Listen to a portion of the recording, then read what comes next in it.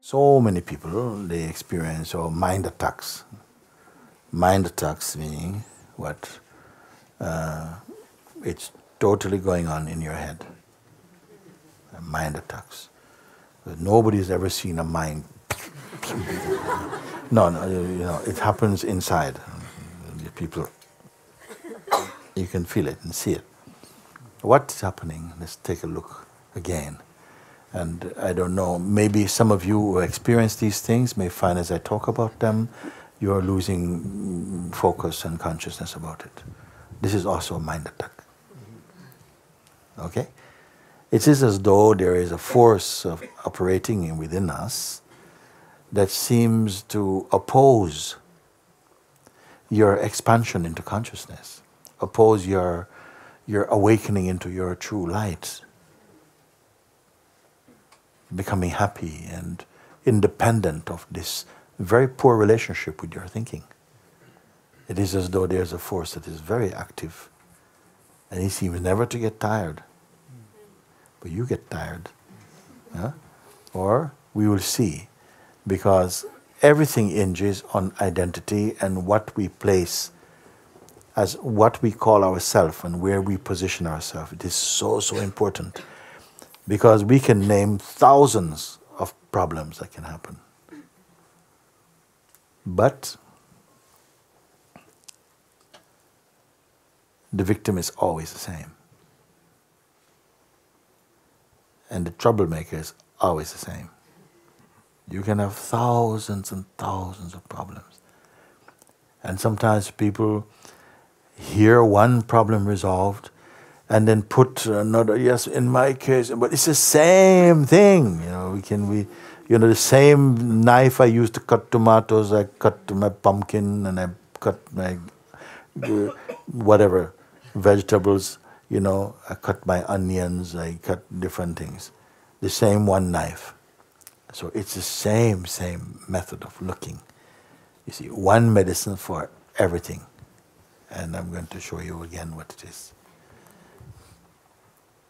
So we are very, very aware of the sense of being, you know, just really your mind is blowing a storm, saying all kinds of things, you see. And uh, it is really about ego.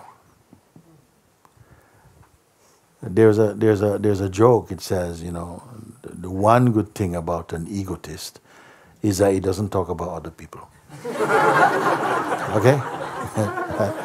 basically it's always about himself or herself. Okay, so something the this play that happens, you know, yes, okay, but well, they don't like you, they don't like you, and oh yes, you know, they're gonna see you that you, you know, that you're you're weak or something, or you know, you're not ready, you're not good enough, and you know, remember last time you failed, what makes you think you're going to succeed again? Who is this voice? Who who is it that is who is who lives in this house with you that speaks like this?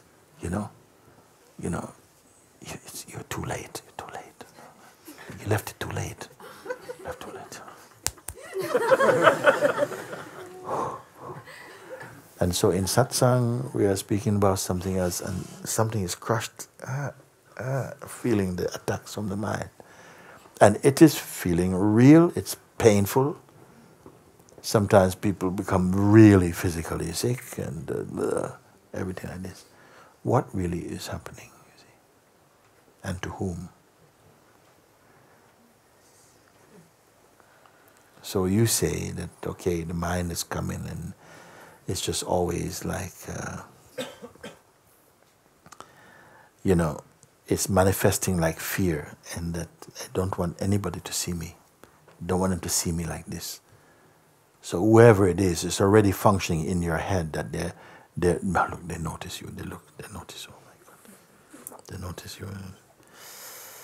So you get up and you walk off to some place. You need to be alone. Don't want anybody. So what is causing all of this? You can sit down. You can look at it. You can say, okay, the feeling is that there is something inside that is whispering or communicating to, to, to my sense of self and saying that, you know, you know, like, you're not going to get it. It's not for you. This is not your path. You're wasting time here and all this thing. You know? And yet you know that something brought you here. It's at a deeper place, you know that it is good to be here. On a superficial place, you feel like you know, something wants to drive you out. So what do you do about it? Well, first of all, mm, stop fighting against it. In the immediate sense, stop fighting and try and create distraction. No, no. Let it play. And now you don't fight for a moment. You just observe. Just leave it for a minute. Let him throw his best punch and whatever like this. But you just you just be aware of it. You start to be aware of it. Hmm? And this feeling of fear and uh, what is the voice actually saying? What is it actually saying? Right? So it may be saying, well, you know, you know, you're wasting your time, you know, what are you doing with these people? And they're all strange anyway. Why, did, why would you, you know? And uh, no, no, I don't want to listen. I don't want to listen. Okay, so that's the message in the in the fear is that uh, these people they don't want you here or they're isolating you, they're picking on you, whatever it is. No, so you write it down. Okay, that's that seems to be what the fear is about. And then the next point is on whom is it impacting? It will seem already that you don't need to ask this question because you already put yourself as the victim of it. who is being attacked by it? Well, it's obvious it's me. But then say, okay, it's me. Let's look further into this me feeling. Exactly what is it? Is it the body? Is the body saying, you know, I am being attacked by my mind? No, the body doesn't have that ability to distinguish and to have enemies or friends. It is not the sentient functioning inside. The body is just the body. It registers the pain. It takes the, uh, the pain. Uh, but the, something inside is the one that seems to be suffering. It's not merely the body. Who? Let's see if we can identify where the pain is landing. Who is the victim of the pain? Who is, who is being affected? And if you start with this question, I would say just sit quietly and, and write this question down because from the mind is going to come tremendous resistance that you don't catch even the question to even ask it. Sometimes you may notice that. Sorry, what was the question again? Look at your paper. Okay, paper. Uh, oh yeah, okay, okay. So I have to uh, and you find it very difficult to focus your, your, your attention. What is this? This is mind attack. You see? On whom is it attacking again? Who is the one who's attacked again? And you must try and see not just the feeling, not just the assumption, it's me, that's what we all do, but see if it can be directly identified, the me sufferer. In the beginning, it might sound a bit, what's a bit unusual question, but hold the question and stay with it. Try to understand. Use the question to see if you can identify the sufferer. Don't just assume the sufferer. Just begin to look. And if you find that you start to think about bananas and, and you know shopping and stuff, these are the distractions that are coming up. You see, just keep looking back at your paper again. So yeah, I'm going to try and find stay with it. Stay. You start to find maybe you feel tired and lazy, and you start to dream. No, just stay with it. Keep coming back, and stay with it. And at some point, you may find a reaction like this coming, something like.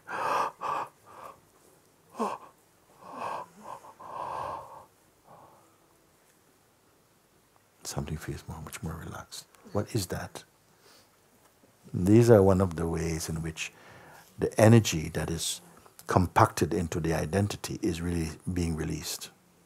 It comes out when one way it comes out.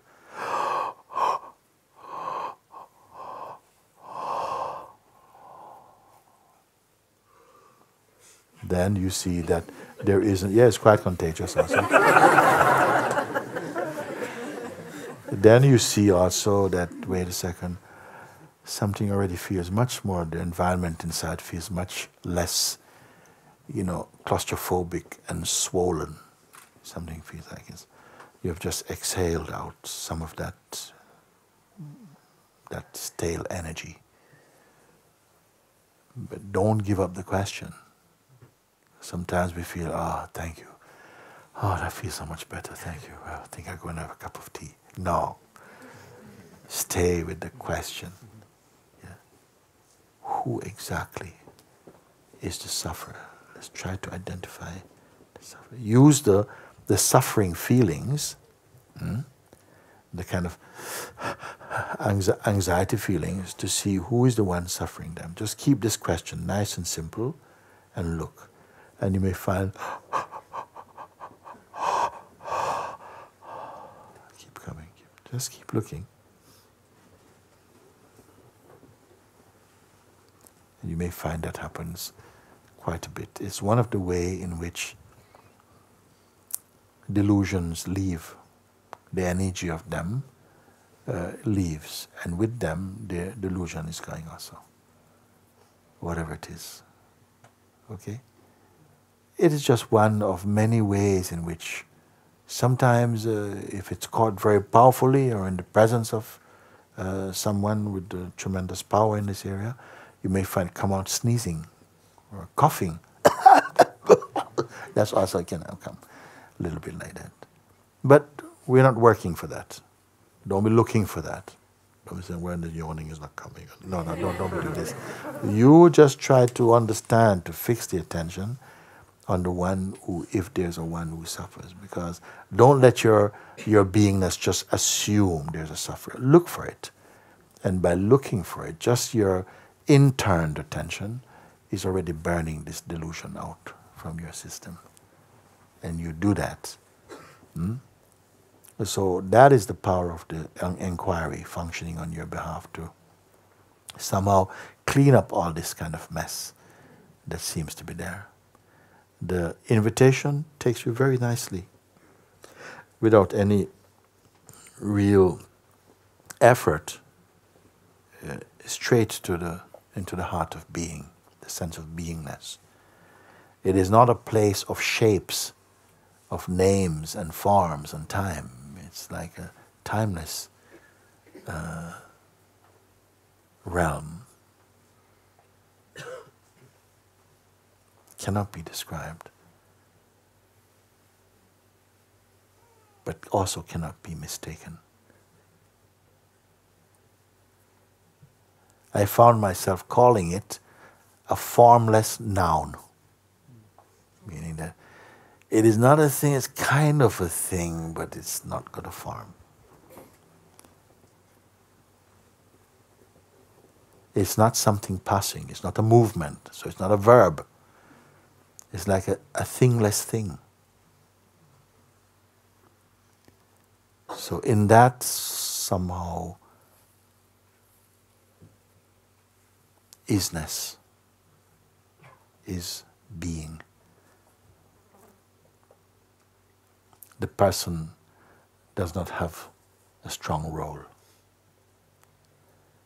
Nevertheless, it will come back into play, and it can come back into play, but it's much uh, less consequential in its actions, it's much more superficial.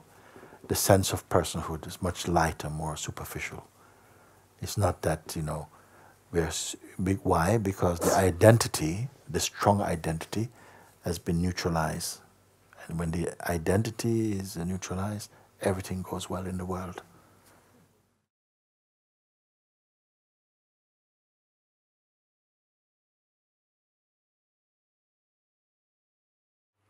Come to the say, easier? How about? Uh, like when images just come and you have a strong clinging. Clinging. Yeah, clinging. Like that is watched. Strong clinging. You're a Klingon. so that is watched.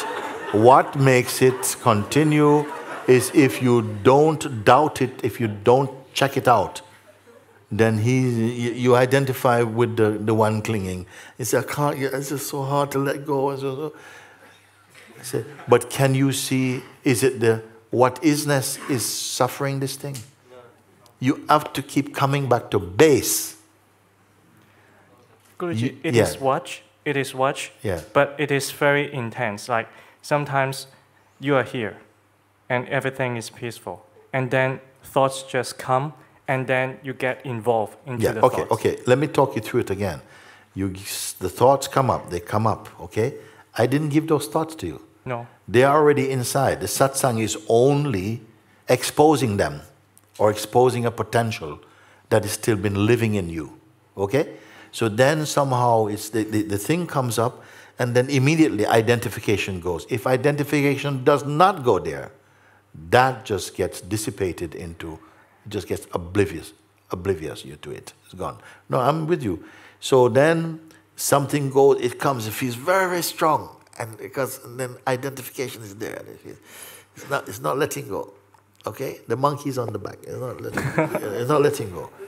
Is this perceivable or not? Yes. So right there, you begin to stay, look and say, but that, that is perceived. Then something goes, but I'm not getting off. Suppose you meet this type of thought, you know? Sometimes you meet someone, suppose someone, you open the door and they walk into your room. Suppose someone knock at your door, you open the door and say hello and just walk straight in. Huh? Go to the kitchen, start to make uh, breakfast, okay? I say, hey, hey, hey, what's going on here? I don't even know you. Get out of my house. No. Now, normally, you would think a reasonable person would go, oh, sorry, mate, I was just really hungry. I'm going. What if the person say, I'm not going, and put his, put his foot up on your, on your table, lie down, and says, listen, go and fix me a cup of tea. And you say, You've got to be crazy. You can't come into my house. I get out of my house. I'm not going. What do you mean you're not going? You heard. What do you do? What if a thought come and you say, Get out! Get out! And he looks at you and go, I am not going anywhere. Okay? What will you do? what will you do? Do you say, okay, I leave then? I'll go and rent another apartment. No, you won't. You, what you gonna do? You have to find out this cannot, this cannot be true. This cannot work. This cannot work. You know, I am the landlord of this house. This is an imposter, okay? And there's no police where you live. You have to get him. How are you going to get him out? How are you going to get this thought out? No, it cannot be ignored. He's in your bed?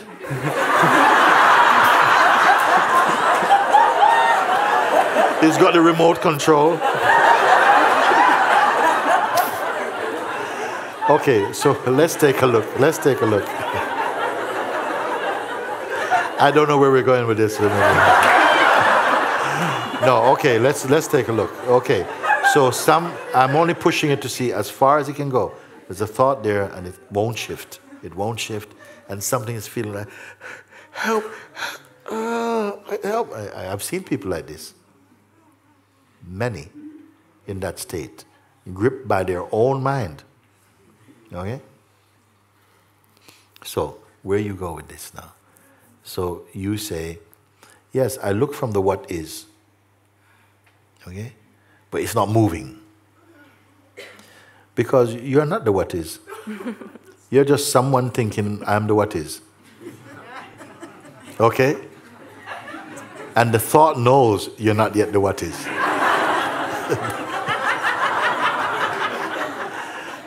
You're going, listen, I am the what is. And the thought goes, all right. What you gonna do? What you going to do? So what I'm pointing out is this. Either you are in a place where you have identified, because what tends to happen in situations like this is that you are I strongly the strong force of identification is coming there in this play. And this identification is producing all this acidity. And something, and the one who's going, "Ah, I don't know what to do, is also part of the play. And something is able to look at this Yes. acid, acidness. And as you look, you don't identify. It feels like something is saying, "Is you know, what can I do?" But this "what can I do" voice is also heard. And you keep looking, and just don't try and stop the feeling. Please listen. Don't try and stop the feeling. It only it grows with, with resistance. So let it be there, but you just keep looking. Who is suffering this? And the voice will say, What are you talking about? Who is, this is me. I said, Me who? Keep looking. It's a voice in the wilderness, strongly believed in. And that's where it's taking its juice, its nutrient, its nourishment is coming from your belief. Who is the believer in it? Also, this is your question. You are unrelenting in your looking. Don't give up. Because your mind is not going to give up. It's not going to say, look, you know what, I've troubled you enough. I'm just going to go to someone else. You have to stop. And what does it mean you stop? mean that you stop feeding this. You see it. You see that this is this is a person and, and this idea, and it's just an idea. You keep looking. You stay with him. Stay with him. Don't mind the feeling. He's throwing eggs at you. He's throwing everything. And you don't mind if you just stay, stay, stay, and just keep just looking. Don't judge. Don't identify. Just keep looking and just keep looking. Who are you? Who is who? Who is it who is suffering? And at one point, he's gone. The grip cannot. It cannot sustain the grip. And the one who is holding on to also both of them go. Then the tendency is to feel, thank you, thank you, Jesus, thank you, thank you, thank you. This one also you're not also.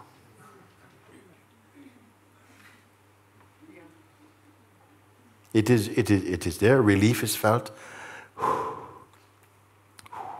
But don't identify so strong. Of course, relief, the sense of gratitude, that can be felt, but don't identify so strongly. The space behind and in which the relief also is experienced, be there.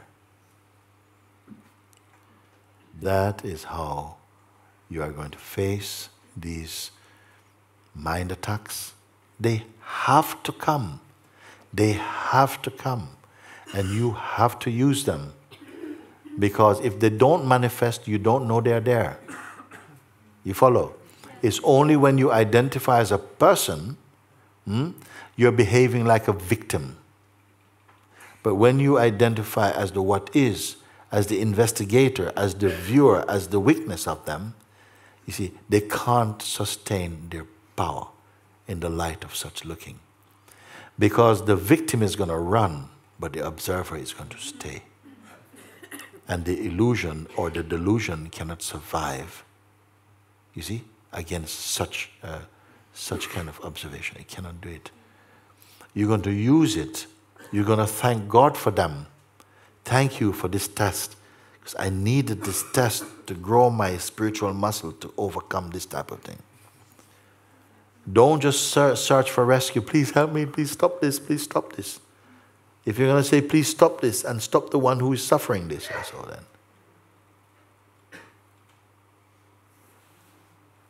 Have I gone too far with this?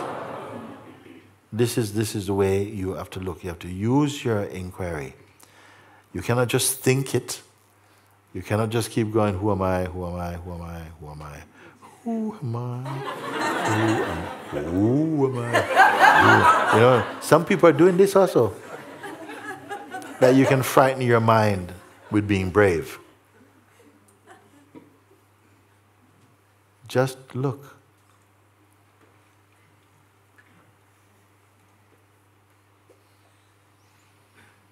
When it is subsided for now, this activity has fulfilled its purpose. It's done its job. And you have done yours. You know, you've used it to look, to clarify, to verify what is your true position. Are you the one who is being beaten? We have been trained to identify with this person who is victimized and who is, you know, so much injustice has been done against me, man, and building up some kind of some kind of case. And the ego It loves, it loves evidence. April the 6th, 842. Huh. And before that, it was. So it loves this kind of stuff because by that it can live in the notion of being a person. And it wants to do that, this behavior, somehow. When you see from the clarity of the isness, all of this becomes laughable. It's not there, it's got no teeth. This serpent has no teeth, it has no venom. You can give him to the children to play with. But when you are identified with this stuff, he is like the original serpent. I wonder if you're hearing these things. Because every tool is being put in you to destroy these delusions, to wake up, not just even destroy them. You only have to wake up. When you wake up, they are no more. If you try and destroy them, you give them a sense of life and a sense of, of reality. Do you see this or not? Yes. So, and that's it. Guruji, but uh, in my case, it's not like more like uh, an intruder, but it's like enticer, like it's seducing you. It's a very beautiful image. Or Same something. victim. Yeah. The one is being seduced, or the one who's being enticed. Same. What's the difference? One in pink, one in orange. What, what is? It's the same, same identity is behind them. It's still the me factor. It's the me factor. Yeah, yeah. But this one, I, but in my case, I feel as though you have a case. You don't have any case. it is, it, it is uh, trying to six of one and half a dozen of the other one. Okay? There's not really any difference. Just one wear pink, one wear blue.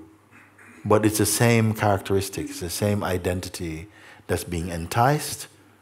So you just go to the thoughts because like something images and then you just involve with it because like no that's what you've been doing. Yes i'm. Yes okay okay. But like, that's, that's not what i'm telling you to do.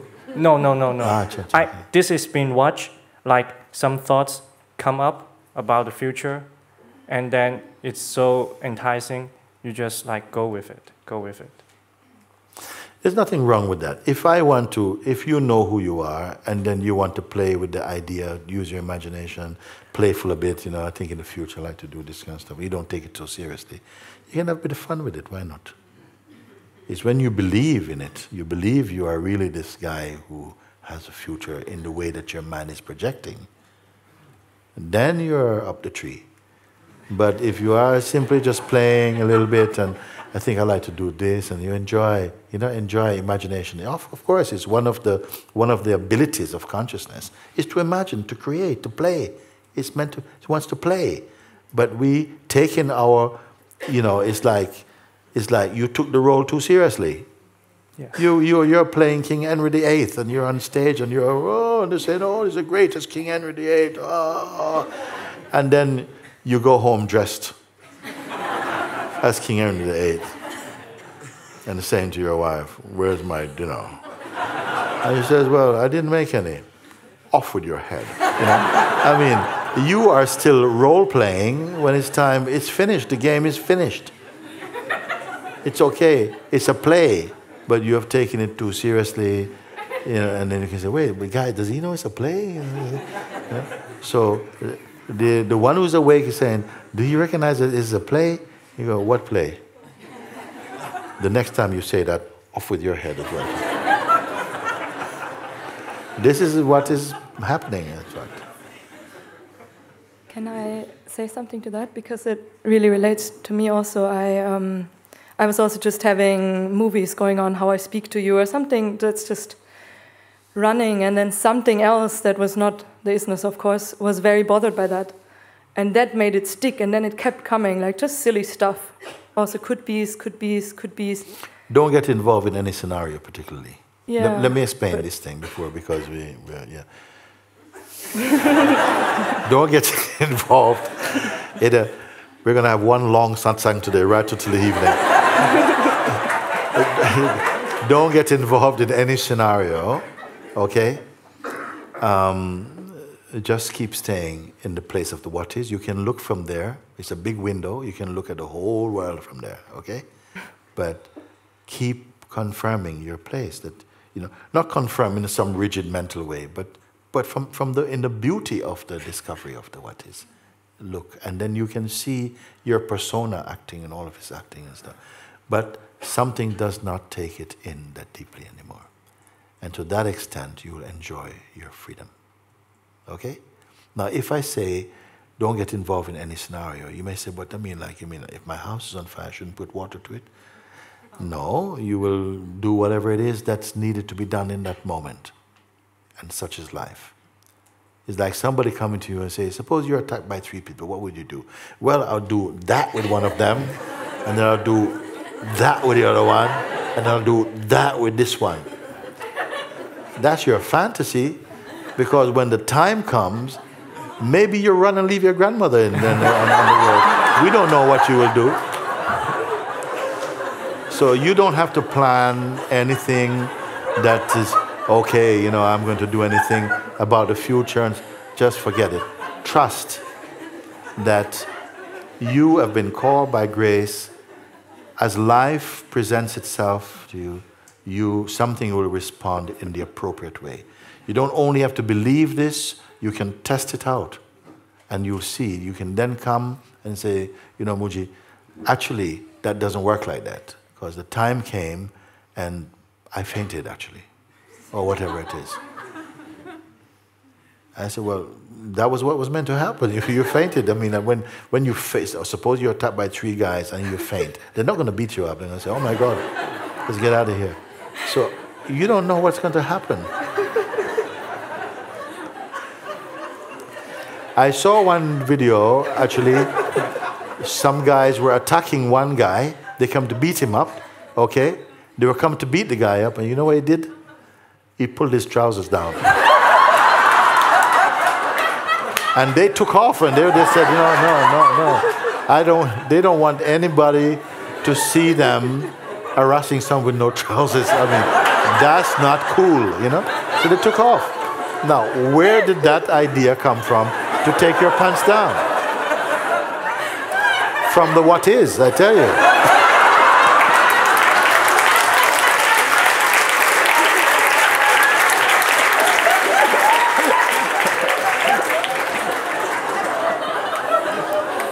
Just trust. It, it, it,